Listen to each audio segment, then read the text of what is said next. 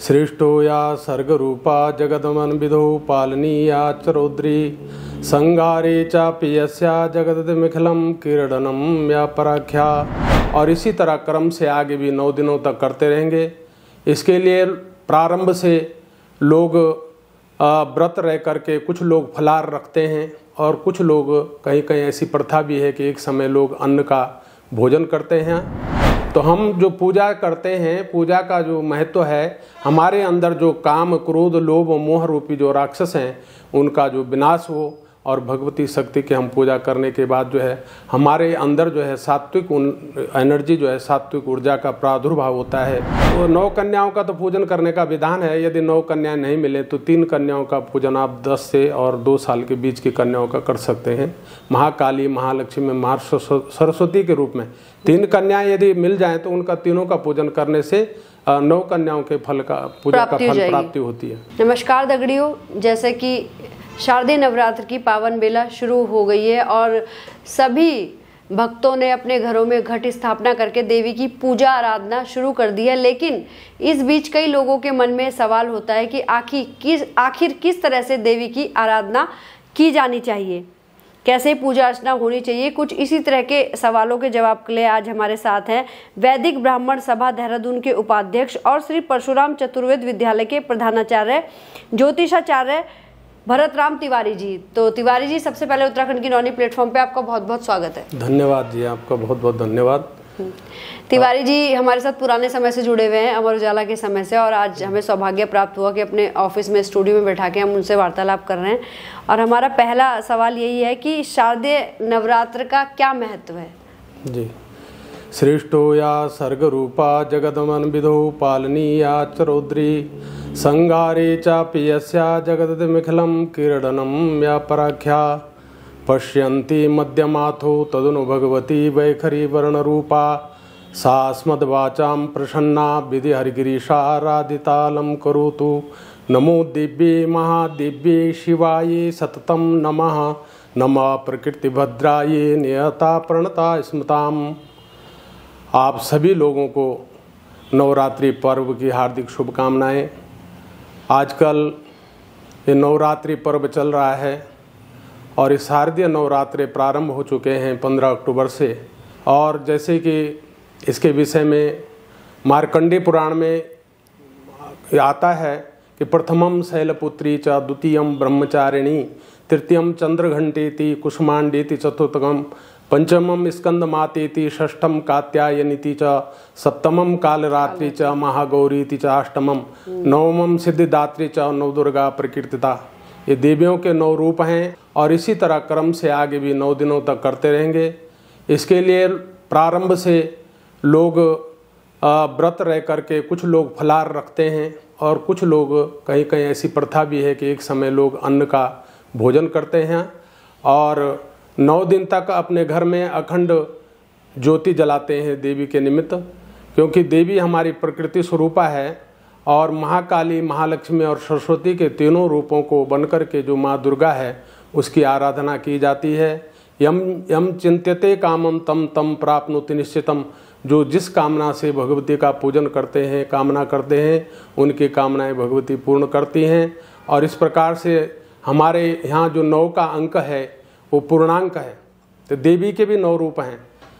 नौ का जैसे हम पहाड़ा पढ़ते हैं कि नौ एकम नौ नौ दुनिया अठारह, नौ त्या सत्ताईस तो सबका योग नौ बनता है आखिर तक। तो देवी जो है पूर्ण रूप से सभी को भुक्ति और मुक्ति को देने वाली है। और कलयुग में कलो चंडी विनायको ऐसा आया है मारकंडे पुराण में कि कलयुग में भगवान गणेश और देवी की पूजा की प्रधानता है और इसी उसके रूप में जो है हम भगवती का नौ दिन तक आराधन करते हैं। जी इसके महत्व पे अगर प्रकाश डाला जाए तो मुख्यतः शादी नवरात्र का क्या महत्व माना जाता है? नवरात्रि जो है नौ दिन की होती है नवरात्र तक जो है कर नौ दिन का मतलब है कि नवरात्र मने नौ दिन और रातें मिला करके नवरात्र बनता है। और दशहरे के दिन जो है देवी का जो है पूजा करने के बाद विसर्जन किया जाता है। हम्म। तो ये भगवती का जो चरित्र है प्रथम और मध्यम और उत्तम चरित्र में तीन चरित्रों में उसका व्याख्यान 700 श्लोकों के माध्यम से मार्कंडे पुराण से दुर्गा सप्तशती ली गई है। तो दुर्गा सप्तशती में 700 श्लोक हैं और उसमें देवी के चरित्र की कथा आती है कि राजा सुरथ और समाधि नामक वैश्य थे, वे कुछ पीड़ित रहे, परेशान रहे। तो मेधा मुनि से उन्होंने इसका उपाय पूछा और मेधा मुनि ने जो है देवी का जो चरित्र है उनको सुनाया, कहा कि भगवान की जो है सभी देवताओं की शक्ति से भगवान विष्णु और ब्रह्मा और शिव की शक्ति से जो है, उनके तेज से जो है, भगवती का उद्भव हुआ और सभी देवताओं ने अपनी अपनी शक्ति उनको प्रदान की अस्त्र शस्त्र प्रदान किए और तब देवी ने जो है, राक्षसों का शुंभ निशंभ चंड, मुंड, महिषासुर इत्यादि जो राक्षस हैं, इनका वध किया। तो हम जो पूजा करते हैं, पूजा का जो महत्व है, हमारे अंदर जो काम, क्रोध, लोभ, मोह रूपी जो राक्षस हैं, उनका जो विनाश हो और भगवती शक्ति की हम पूजा करने के बाद जो है, हमारे अंदर जो है सात्विक एनर्जी जो है, सात्विक ऊर्जा का प्रादुर्भाव होता है और सात्विक ऊर्जा से ये मौसम भी बदल रहा है। इस समय जो है, संधि का मौसम है, शरद ऋतु आ रही है और ये वर्षा ऋतु चली गई है। तो इस समय जो है खान पान में विशेष ध्यान देना चाहिए वैज्ञानिक महत्व को देखते हुए उससे भी जो है जब हम सादा भोजन करते हैं या व्रत रखते हैं तो हमारे जो है शरीर में जो व्याधियाँ होने की कोई ऐसे कीटाणु आ जाते हैं जिससे व्याधियाँ उत्पन्न होती हैं तो व्रत रखने से जो है शरीर की शुद्धि होती है, शरीर निर्मल हो जाता है व्रत रखने से और आत्मा भी पवित्र रहती है, इसलिए नवरात्र व्रत करते हैं। जी और पूजा अर्चना इस दौरान कैसे की जानी चाहिए? पूजा अर्चना का ऐसा है कि पहले दिन जो है घट स्थापन होता है। सभी लोग तो ब्राह्मणों को बुलाकर पूजा नहीं कर सकते। कुछ लोग अपने आप स्वयं भी भगवती का पाठ करते हैं। तो घर में प्रातः काल स्नान संध्या नित्य कर्म से निवृत्त होकर के अपने घर में जो खेतरी होती है क्षेत्री जो बोलते हैं हरियाली बीज बपन करते हैं जौ का। और उसको जो है वहाँ पर नारियल में कलश में नारियल लगा करके उसका पूजन का विधान है लेकिन अपने आप ऐसा है कि पहले कलश में गंगा जल डालें और गंगा जल डालने के बाद उसमें फिर सादा जल भरें उसके अंदर जो है सुपारी और सिक्का इत्यादि रख सकते हैं और चावल फूल इत्यादि उसमें डाल करके आम के या पीपल बड़ के पत्ते पंचपल्लव जो बोलते हैं उनको लगा करके उसके ऊपर नारियल रख करके और फिर जो है उस कलश का जो है पूजन जो भी जानते हैं दुर्गा दिव्य नमः बोल करके भी उसको टीका चावल फूल मिष्ठान इत्यादि लगा करके उनका पूजन करना चाहिए। अखंड ज्योति की व्यवस्था करें ज्योति जलाएँ और नौ दिन तक वो जलती रहे और फिर जो है हिंदी में भी पढ़ सकते हैं जो लोग संस्कृत नहीं जानते हैं तो उसका क्रम है कि एक दिन जो है प्रथम चरित्र दूसरे दिन उत्तम मध्यम चरित्र और तीसरे दिन उत्तर चरित्र का पाठ भी कर सकते हैं। कुछ लोग प्रत्येक अध्याय प्रतिदिन पढ़ते हैं कभी कभी दो अध्याय भी पढ़ लेते हैं, इसे नौ दिन में जो है पूरी चंडी पूर्ण कर देते हैं। और जो ब्राह्मण लोगों से कराते हैं तो ब्राह्मण लोग उसको संपुट पाठ, जो उदय संपुट होता है, उसको भी करते हैं। मनकामना के लिए सात सौ श्लोक में कुछ मंत्र ऐसे हैं जो जिस कामना से कराता है, उस मंत्र का संपुट उस मंत्र में लगता है और संपुट पाठ कराते हैं। उसके बाद नौ दिन तक नवरात्र रख करके पाठ करा के, उसका दसवां भाग जो है, दसम हिस्सा जो है, हवन करना चाहिए। जैसे नौ पाठ दस पाठ हमने कर दिए तो एक पाठ से हवन होना चाहिए और सात सौ आहुतियाँ देवी को जो है उसको प्रदान करनी चाहिए साकल्य से। तो उसके बाद पूर्णावती करके फिर देवी का विसर्जन करते हैं अगले दिन। जी। तो ऐसे विधान है। जी। तो नवरात्रि की व्रत के दौरान जो हमारे कन्या पूजन का जो विधान है अगर आजकल के टाइम में एक आप देखते हैं मतलब एक सवाल मेरा इससे हटके है कि कन्याओं की बहुत ज़्यादा कमी नज़र आती है। लोग एक दूसरे के घर में अपनी बेटियों को कन्याओं को भेजना पसंद नहीं करते हैं। तो ऐसे में वो प्रसाद कहाँ किसको किस रूप में बांटा खिलाया जा सकता है? हमारे यहाँ जो प्रधानता है दो साल से और दस वर्ष के बीच की कन्याओं का पूजन करने का विधान है। दो वर्ष की तीन वर्ष की और दस वर्ष के अंतराल तक की जो कन्याएँ हैं वैसे नौ कन्याओं को जिमाना चाहिए उनकी पूजा करनी चाहिए क्योंकि मातृशक्ति की पूजा करना है। यत्र नार्यस्तु नार्यस्तु पूजनते रमनते तत्र देवता हमारी ये परंपरा है। नारियों का सम्मान तो हम बहुत पहले से करते हैं और देवियों के रूप में उनकी पूजा करते हैं कन्याओं की उनके चरण धुलाएँ उनका तिलक इत्यादि करके उनको कुछ उपहार भी दे सकते हैं कुछ हाँ वही वही पूछूँ कि सुन- अगर वो हाँ। कन्याएँ नहीं उपलब्ध पर वो तो? नौ कन्याओं का तो पूजन करने का विधान है यदि नौ कन्याएँ नहीं मिले तो तीन कन्याओं का पूजन आप दस से और दो साल के बीच की कन्याओं का कर सकते हैं। महाकाली महालक्ष्मी में महा सरस्वती के रूप में। तीन कन्याएँ यदि मिल जाए तो उनका तीनों का पूजन करने से नौ कन्याओं के फल का पूजा का फल प्राप्ति होती है। अच्छा ठीक है अब जैसे नहीं भी मिले तो एक कन्या का जो है। उस उसका पूजन लक्ष्मी रूपा में कर सकते हैं अगर नहीं मिले ज़्यादा कन्याएँ तो आजकल जैसे कि कन्याओं की बहुत ज़्यादा कमी हो जाती है पूजा अर्चना के लिए तो आपने सुना अभी कि आप एक कन्या का पूजन भी कर सकते हैं विधि विधान से और वो नौ कन्याओं के पूजन के बराबर ही आपको फल देने वाला होगा। जी जी ठीक है जैसे कि आप श्री परशुराम चतुर्वेद विद्यालय के प्रधानाचार्य भी हैं तो क्या हाँ। कुछ काम कर रहा है आपका ये विद्यालय? कैसे कैसे बच्चे यहाँ पे शिक्षा दीक्षा ले रहे हैं? ये अधिकतर तो जी सामान्य परिवारों से यहाँ पर बच्चे आते हैं जी। और बहुत गरीब परिवारों के बच्चे कुछ हैं जो आजकल आधुनिक शिक्षा पद्धति है उसको नहीं दिला सकते अपने बच्चों को। बहुत महँगी फ़ीस है अंग्रेज़ी स्कूलों में। तो सामान्य घरों से बालक आते हैं और हमारा विद्यालय जो है निःशुल्क उनको आवास भोजन और उनकी शिक्षा दीक्षा का प्रबंध करता है। विद्यालय समिति है उस समिति में मैं उपाध्यक्ष भी हूँ। और समिति में तो मैं, मैं वो ब्राह्मण सभा है एक जो हमारी वैदिक ब्राह्मण सभा उसमें मैं उपाध्यक्ष हूँ। और उस सभा के देखरेख में उनके भवन में विद्यालय चलता है।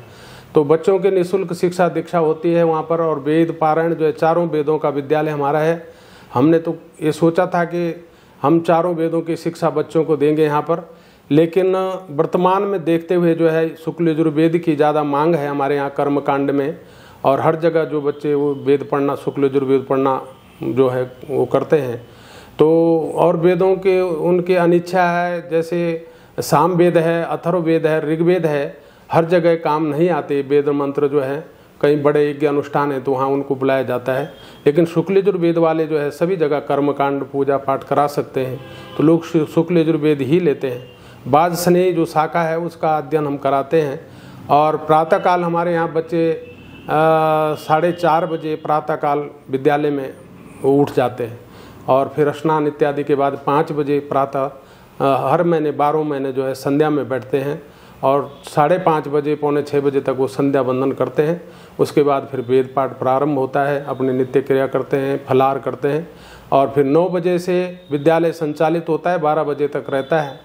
और 12 बजे से दो बजे तक मध्यांतर होता है उसमें वो मध्यान्ह संध्या भी करते हैं। 12 बजे से लेकर साढ़े बारह बजे तक दिन की संध्या और फिर उसके बीच में भोजन और दो बजे फिर कक्षाएँ प्रारंभ होती हैं और साढ़े चार बजे तक ये विद्यालय शाम को क्लासें चलती हैं।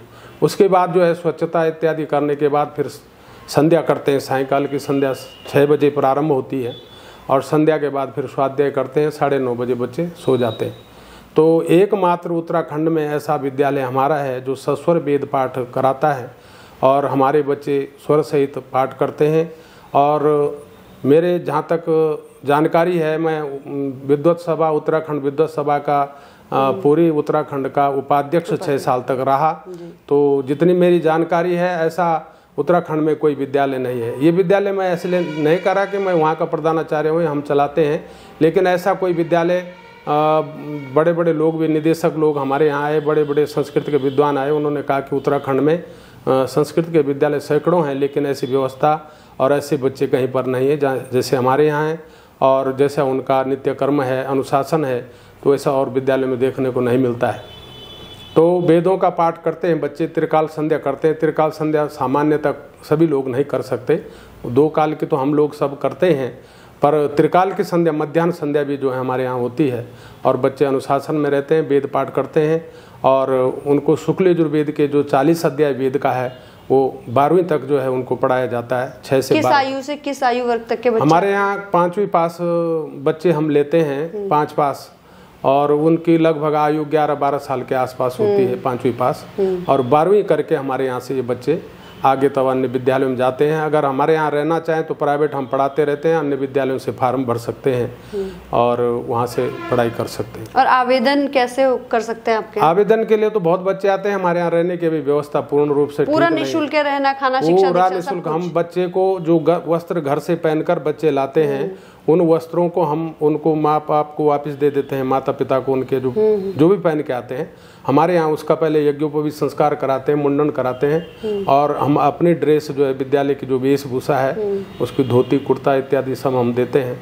और निःशुल्क उनको पढ़ाते भी हैं पुस्तकें भी देते हैं भोजन आवास सब हमारा ही होता है। माता पिता से आज तक हमने किसी भी बच्चे का आज तक एक रुपया भी नहीं लिया। कितने बच्चों को हर साल दाखिला मिलता है आपके और क्या प्रक्रिया है उसकी कैसे चुनते हैं आप? हाँ, बच्चों को जो है हम परीक्षा लेते हैं प्रवेश परीक्षा होती है। और प्रवेश परीक्षा के द्वारा लगभग हमारे यहाँ अभी तो जगह बहुत कम है पर बारह पंद्रह बच्चे हर साल हम नए लेते हैं।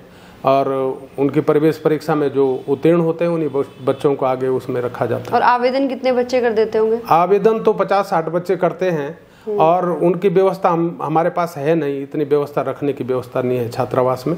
और सीमित सीटें हैं चालीस बच्चे अंदर रह सकते हैं। उनका रहना खाना हम कर सकते हैं वहाँ जगह नहीं रहने की। इसलिए जब जगह मिल जाएगी तो अभी हम सरकार द्वारा मांग भी कर रहे हैं कुछ सरकारी भवन खाली हैं। और उसको प्रयास किया जा रहा है कि अगर वो हमें लीज पे दे देते हैं तो हम ज़्यादा बच्चे रखेंगे और ये शिक्षा दीक्षा बहुत अच्छे ढंग से जो है अच्छी अच्छी चलेगी। तो इसका खर्चा अभी कैसे वहन कर पा रहे हैं आप लोग सर खर्चा समिति के द्वारा जो है हम लोग कुछ एकत्र करते हैं कुछ दानी सज्जन भी हैं हमारे यहाँ बहुत दानदाता भी हैं। वो हर महीने थोड़ा बहुत कुछ न कुछ खाद्य सामग्री जो है हमारे यहाँ भिजवाते हैं। कोई लोग जो है भंडारा कराते हैं विद्यालय में तो भंडारे से जो आय होती है जो पैसा देते हैं हम साढ़े तीन हज़ार रुपये भंडारे का प्रतिदिन लेते हैं जो लोग कराते हैं। किसी के बच्चे का जन्मदिन है किसी की विवाह की सालगिरह है और कोई अपने माता पिता के पुण्यतिथि पर जो है ब्रह्म भोज कराते हैं वहाँ। तो साढ़े तीन हज़ार रुपये हम उनसे लेते हैं और भोजन बनाते हैं। तो उसमें थोड़ा बहुत जो बचता है उससे कर लेते हैं। कुछ संस्थाएँ हमें दान भी देती है तो उससे अभी ये चल रहा है। अभी कुल कितने बच्चे आपके यहाँ? अभी हमारे यहाँ करीब इस समय जो है पचास के करीब बच्चे हैं। कुछ बाहर बाहर से आते हैं। उनमें से कुछ ऐसे भी होंगे जिनके माता पिता नहीं होंगे या कोई हाँ ऐसे बच्चे भी हैं ऐसे पाँच सात बच्चे हैं जिनके माता पिता नहीं हैं ऐसे बहुत बच्चे हैं जी। पाँच सात बच्चे तो ऐसे हैं जिनके माँ माँ भी नहीं है पिता भी नहीं है ऐसे बच्चे भी हैं। ऐसे तो, बच्चों का भविष्य जो है आप उज्जवल कर रहे हैं इसके हाँ लिए। आपको बहुत बहुत शुभकामनाएँ और इस काम को आगे बढ़ाते रहे। और अगर कोई सज्जन कोई लोग आप लोगों को मदद करना चाहें तो वो कैसे कर सकते हैं? मदद हमारे यहाँ आकर रसीद काटते हैं विद्यालय की रसीद है लेखा जोखा पता है। आप बता दीजिए हाँ श्री परशुराम चतुर्वेद विद्यालय तीस प्रकाश नगर देहरादून गोविंदगढ़ के पास ही है यमुना कॉलोनी के थोड़ा पहले। जी। वहाँ पर विद्यालय चलता है ऊपरी तल में। कोई नंबर कोई एड्रेस कोई वेबसाइट और कोई जो आप बताना चाहें मोबाइल नंबर ही बताना हाँ मोबाइल नंबर लिख सकते हैं नंबर है nine four double one five seven five seven one zero. इस नंबर पर प्रवेश के लिए या सहायता के लिए किसी प्रकार की जो बात है तो उसके लिए संपर्क किया जा सकता है इस नंबर पर। बहुत ही शुभ काम है नेक काम है। सरकार को भी मदद करनी चाहिए इस तरह के भवन देने चाहिए जहाँ इस तरह के बच्चों का भविष्य भी उज्जवल हो रहा है और साथ साथ अपनी संस्कृति को भी बढ़ावा मिल पा रहा है। और अब आप यहाँ पे आए हैं तो एक सवाल पूछे बिना मैं जाने तो नहीं दूँगी कि शादी के जो साय हैं वो भी कितने बच्चे हैं और इस साल? साय के सादे चतुर्मासा में हमारे यहाँ विवाह के मूर्त कम ही मिलते हैं क्योंकि जब सूर्य दक्षिणायन हो जाते हैं। अ, ये करीब जो है अपना पंद्रह जुलाई से लगभग विवाह के मूर्त नहीं है। और देव उठानी एकादशी जब आती है तेईस नवंबर की इस बार है तो तब तक तो साय के ब्याह के मूर्त नहीं है। नहीं लेकिन लोग कुछ लोग नवरात्रि के पर्व के वजह से भी विवाह कर देते हैं। और दशहरा जो है बिना उसके सुझाए हुए भी विवाह हो सकता है अनपुच्छ मुहूर्त है। तो दशहरे पे भी लोग शादियाँ करेंगे। वैसे तेईस नवंबर के बाद ही शादियों के साए हैं और लास्ट जो शादी है चौदह दिसंबर को इसी साल साए है। उसके बाद फिर खरमास रहता है पौष का महीना रहेगा एक महीना फिर पंद्रह दिसंबर से चौदह जनवरी के बीच शादियों के कोई मुहूर्त नहीं है। लेकिन चौदह जनवरी के बाद संक्रांति पे ही होगा। हाँ मकर संक्रांति पे शादी होंगी। और उसके बाद जो है जनवरी पूरा फरवरी और बारह मार्च तक शादी के साए हैं। लगभग। लेकिन आप बता रहे थे कि इस बार आगे चल के जुलाई कौन से महीने? हाँ फिर इसके बाद जो है बारह मार्च से चैत्र का महीना प्रारंभ हो जाता है और बारह पंद्रह अप्रैल तक चौदह अप्रैल तक चैत्र का महीना रहता है तेरह अप्रैल तक। अच्छा। तो चौदह अप्रैल से बैसाखी होती है और बैसाखी के दिन भी फिर विवाह होते हैं। तो बैसाख में तो अप्रैल में शायद तीस अप्रैल तक विवाह के मूर्ति साल हैं। तीस अप्रैल को शुक्रास्त हो रहे हैं और दो महीना करीब शुक्रास्त दो महीना कुछ दिन रहेंगे। तो सात जुलाई तक जो है मान लीजिए आप पहली मई से समझ लीजिए कि मई और जून पूरा जो है शादियाँ नहीं है जबकि दो महीने में कम से कम तीस चालीस साइक ब्याह के होते हैं मूर्त तो इस बार कोई नहीं है। अच्छा। तो सात जुलाई को जब शुक्र उदय हो जाएँगे सात जुलाई से चौदह जुलाई के बीच दो तीन साय के विवाह के दिन हैं और उसके बाद फिर अगले साल नवंबर में हूँ अच्छा। 2024 में। अच्छा अच्छा अच्छा हाँ जी। अच्छा उत्तराखंड की नौनी के आज आज कार्यालय आए हैं? उत्तराखंड की नौनी बेटी जो है उत्तराखंड की बेटियों के लिए महिलाओं के लिए कुछ संदेश आप दे दीजिए प्लीज़ उत्तराखंड की नौनी जो आपका चैनल है बहुत ही अच्छा काम कर रहा है और मैं तो आपसे बहुत पहले से भी मैं आपके बारे में जानता हूँ सुनता रहता हूँ। आपको बहुत अच्छे अच्छे जो है अवार्ड बहुत उच्च स्तर पर पत्रकारिता पर मिले। आपने पहले अखबारों में भी अमर उजाला में और अन्य अखबारों में भी काम किया। और अब स्वयं का चैनल चला रही हैं, ये बहुत बड़ी बात है। और कठिन से कठिन जगह जा कर के पहाड़ों में, गाँव में आप जाती हैं, वहाँ से जो है ये अपना वो इंटरव्यू लेती हैं लोगों का। तो ये बहुत अच्छा काम कर रहे हैं। आपकी पूरी टीम को मेरी ओर से बहुत बहुत बधाई, धन्यवाद। और आगे भी आप इसी तरह के कार्य करते रहें। नारी का सम्मान, आपने पहले भी नारियों के लिए बहुत काम किया। मैंने बहुत आपके बारे में पढ़ा, जानता भी हूँ। तो ऐसे ही आप उत्तरोत्तर, ऐसे कार्य में प्रगति करते रहें। और इसी तरह करते रहें तो इसके लिए बहुत बहुत आपको शुभकामनाएँ। आपका बहुत बहुत आभार और इतनी अच्छी जानकारी देने के लिए बहुत बहुत धन्यवाद तिवारी धन्यवाद जी आप सभी का बहुत बहुत धन्यवाद।